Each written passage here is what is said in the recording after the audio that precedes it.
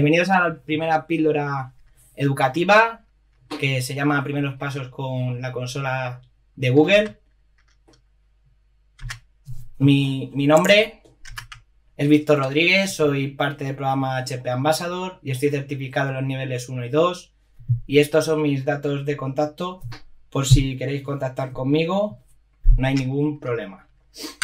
Bueno, vamos a ver lo que vamos a ver en esta pequeña primera píldora de la consola de Google.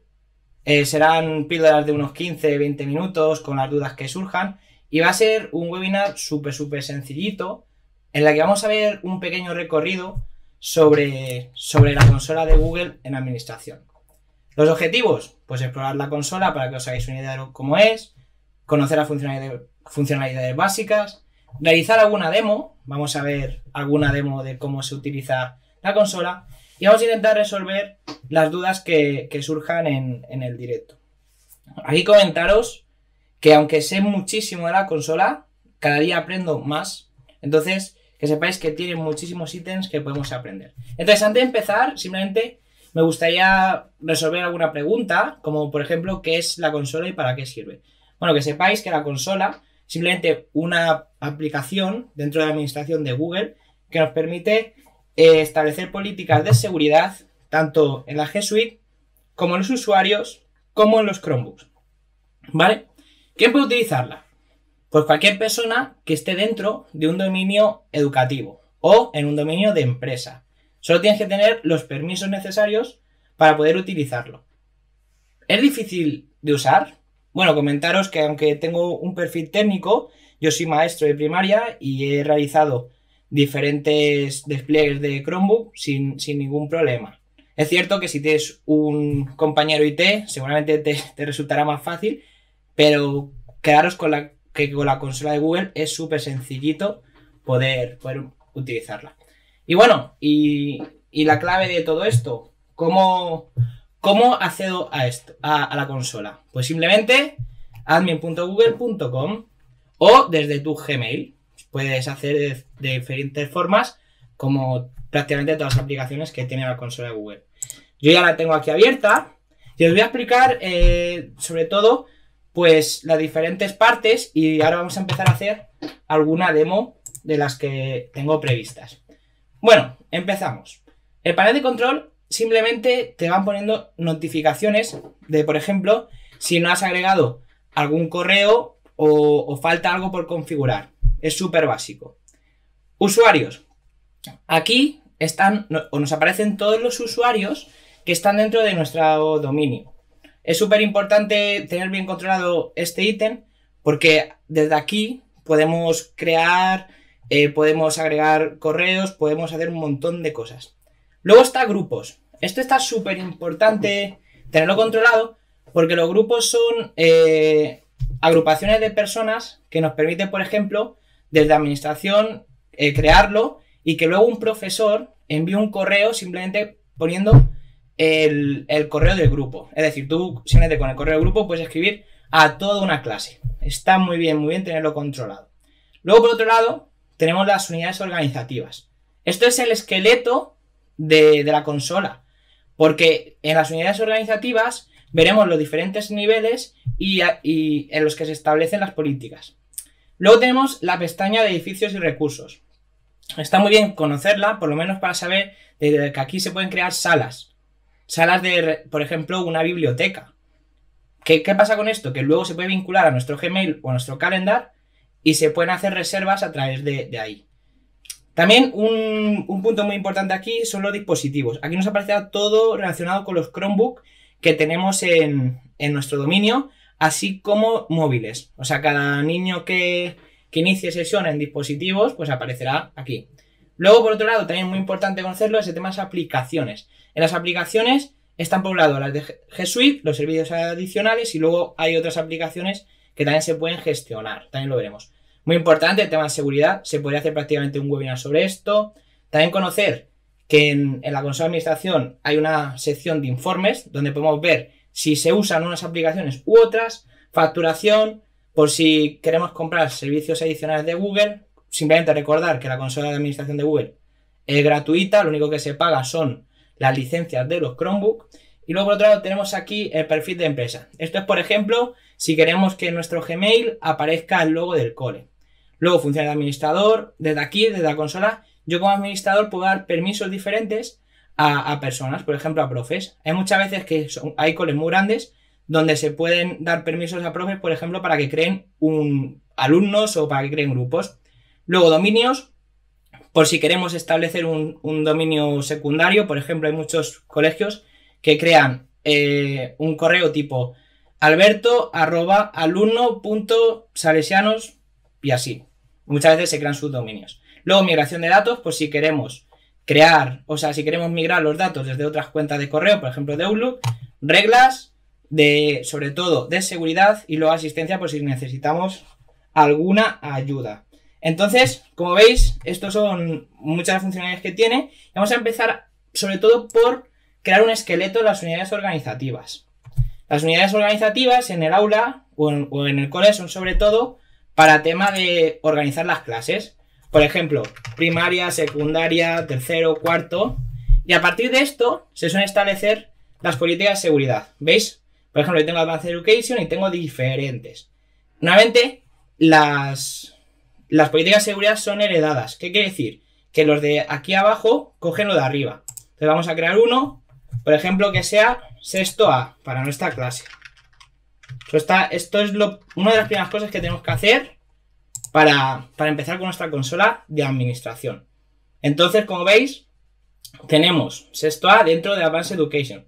Pero ¿qué pasa? Que a lo mejor no lo queremos al mismo nivel que todo y lo podemos coger y meter dentro de los alumnos. Entonces, luego todas las políticas eh, irán dentro de esta parte. Vale, ¿qué más podemos hacer? ¿O qué más hay que hacer una vez que hemos creado unas unidades organizativas y tenemos nuestro esqueleto? Esto, como digo, es lo fundamental. Pues ahora lo que hacemos es crear usuarios. Pues simplemente, yéndonos a usuarios, podemos ver todos, todos los alumnos o todas las personas que están dentro de nuestra organización. ¿Vale? Os voy a enseñar lo simple que es crear un nuevo usuario. Simplemente damos a añadir nuevo usuario, le ponemos un, nombre. Pedro Rodríguez. Se le podría acompañar de una foto. Espera que he puesto el nombre en los apellidos. Rodríguez. Y como veis, prácticamente ya se genera un, un correo que será el del niño. Se puede modificar por si hay muchos Pero Rodríguez en el centro, que a veces pasa. También se puede poner una dirección de correo alternativa, un número, porque muchas veces es una forma de tener gestionado al alumno, y nuevamente por defecto se genera una contraseña automática. Se puede poner la que tú quieras, por ejemplo, y este botón súper importante si queremos que el alumno cambie eh, la contraseña cuando inicia por primera vez. Esto si lo vais a hacer, es importante que, lo apunte porque se le suele olvidar. Entonces se le da añadir nuevo usuario y ya estaría prácticamente creado, ¿vale? ¿Qué pasa? Que imaginaros que en un cole tenéis 300 niños, que, normalmente 200, 100 suele ser lo normal. Pues crear usuarios manualmente uno a uno es prácticamente imposible, o por no decir eterno. Entonces, Aquí también te permite subir usuarios en bloque, que os lo voy a enseñar. Verás, a partir de un CSV,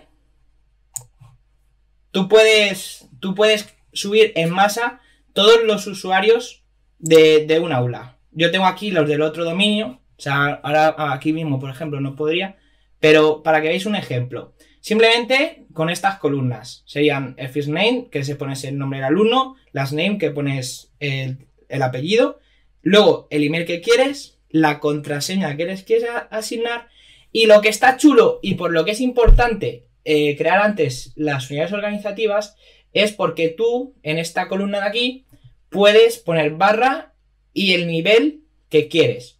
Por ejemplo, si tengo sexto y luego otro subnivel que se llama sexto A, tendría que poner barra sexto barra A. Entonces, irías ya directamente aquí a subir usuarios en bloque, eliges el CSV y lo subirías. Entonces, hemos, hemos cargado nosotros unos 300 usuarios en, en 20-30 minutos. O sea, lo que cuesta en sí es crear las listas, pero como veis, se sube de una forma muy, muy, muy fácil. Entonces, ya casi para, para ir terminando, eh, voy a enseñar un par de cosillas más. Por un lado, las aplicaciones. O sea, tras eh, crear los usuarios y darle el esqueleto que queremos, podemos ir a, las aplicaciones y ver las que tenemos. Como he dicho antes, la G Suite, donde están los servicios básicos, los adicionales y las aplicaciones de Market, que se pueden gestionar también desde aquí. Vamos a la G Suite. En la G Suite, normalmente, eh, esta es la que tenemos para todos los centros educativos y suele estar por defecto desactivado en Hangout Meet y Hangouts el tema de la grabación o de las videollamadas. Entonces, como veis, aquí se ve todas las políticas que tiene cada aplicación, en este caso Hangout Meet, y daríamos aquí, por ejemplo, a videollamadas. Una vez que, quedamos a videollamadas, veis que hay muchas, muchas políticas. Pues simplemente, por ejemplo, queremos ir a alumnos y a los alumnos de sexto A. Y le vamos a cambiar las políticas. Como veis, cada, a cada unidad organizativa se le pueden poner unas políticas u otras. Pues, ¿qué, ponemos a alumno de sexto A? Pues simplemente que no puedan a lo mejor eh, grabar sus reuniones. La vamos a anular y ya está. Este cambio se haría prácticamente eh, al instante, aunque a veces recordad que los cambios se pueden eh, tardar en hacer efectivos hasta 24 horas. ¿Vale? Otra cosa que tenemos que tener en cuenta en, tema de aplicaciones, por ejemplo, es que cuando nos vienen de fábrica, o sea, cuando empezamos con G Suite, hay algunas que están desactivadas. Por ejemplo, YouTube, ¿vale? YouTube suele estar desactivado,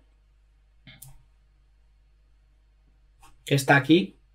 Iríamos a él y lo, lo activaríamos. Además, aquí hay una cosa que quería enseñar es que en el tema de los permisos de YouTube, tú puedes eh, eh, restringir el acceso a contenidos. Que para tema educativo está muy, muy chulo saber y, tener controlado eso. Porque puede ser hasta peligroso, por decirlo así. Bueno, y luego ya eh, simplemente me gustaría comentar el tema de, de, cómo gestionamos o cómo podemos gestionar un Chromebook. O sea, como veis, también se pueden eh, poner aplicaciones de Marketplace que se instalarían en todos los navegadores automáticamente. También se puede gestionar un navegador Windows, pero me gustaría terminar porque me, paso de tiempo, como veis, hay muchísimas cosas que ver con el tema sobre todo de los dispositivos.